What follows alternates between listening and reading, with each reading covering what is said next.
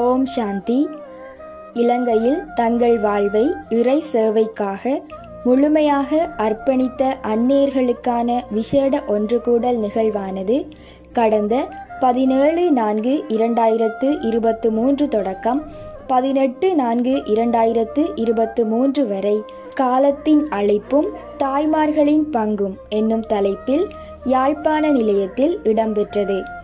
அந்த வகையில் அனைத்து நிலையங்களிலுமுள்ள அந்நியர்கள் யாழ் மண்ணை நோக்கி புறப்பட்டனர்.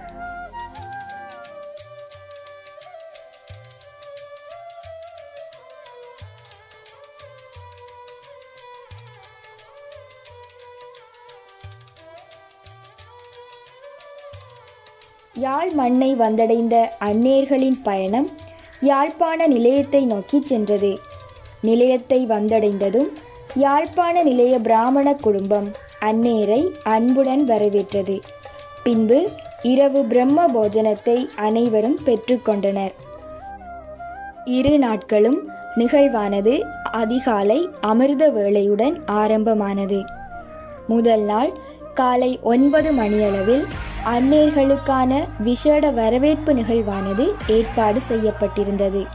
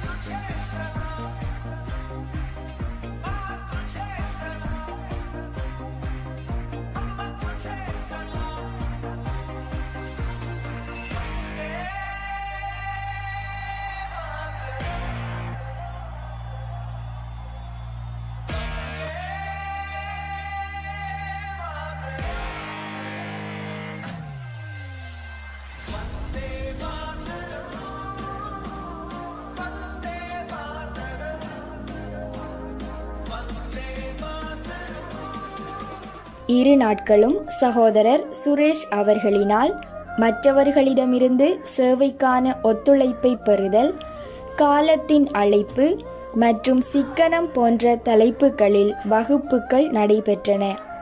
சகோதரி ரஞ்சி அவர்களினால் வாழ்க்கையின் அனுபவத்தினூடாக பெற்றுக்கொண்ட பாடம் என்னும் தலைப்பில் வகுப்பு நடாத்தப்பட்டது. முதல் நாள் ஆக்கப்பூர்வ தியானமானது சகோதரி மாலினி மற்றும் சகோதரி ராதிகா அவர்களினால் வழிநடத்தப்பட்டது. அத்துடன் அவ்வியர்த்த பராமரிப்பு என்னும் தலைப்பில் மூத்தவர்களின் அனுபவ பகிர்வு பகிர்ந்து கொள்ளப்பட்டது. இந்த நிகழ்வை சகோதரி வரதா மற்றும் சகோதரி தனலட்சுமி ஆகியோர் வழிநடத்தி சென்றனர். இரு நாட்களும் அந்நேர்களின் கேள்வி பதில் நிகழ்வுகளும் இடம்பெற்றன. இறுதியாக ஆசிர்வாதம் மற்றும் பிரசாதத்தை பெற்றுக்கொண்ட பின்னர் முல்லைத்தீவு நிலையத்தை நோக்கி புறப்பட்டனர் அந்நேயர்கள்.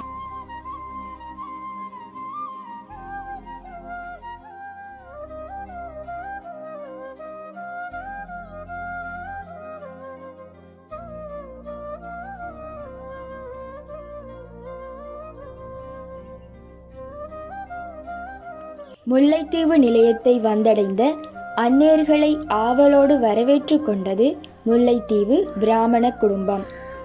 மாலை நேர தியானத்தின் பின்னர் இரவு பிரம்ம போஜனத்தை அனைவரும் பெற்றுக்கொண்டனர் மறுநாள் அதிகாலை அமிர்த வேளையைத் தொடர்ந்து அந்நேர்களின் அமைதி பயணம் ஆரம்பமாகியது.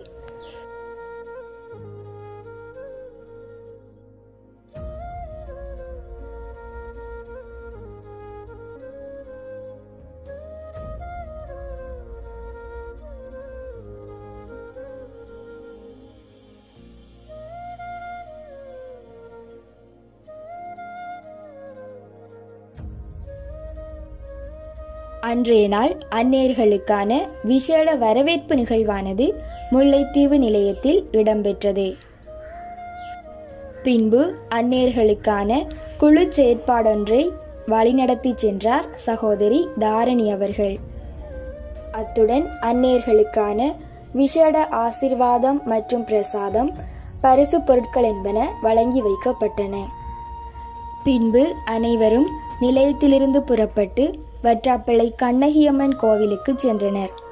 அதனைத் தொடர்ந்து முள்ளியவளை நிலையத்தில் அந்நேர்களுக்கான விசேடமாக ஏற்பாடு செய்யப்பட்டிருந்த விளையாட்டு நிகழ்வு நடைபெற்றது.